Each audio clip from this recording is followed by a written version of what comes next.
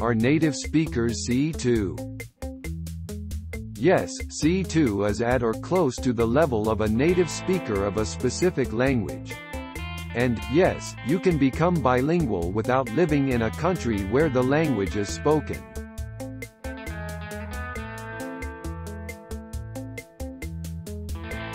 Thanks for watching.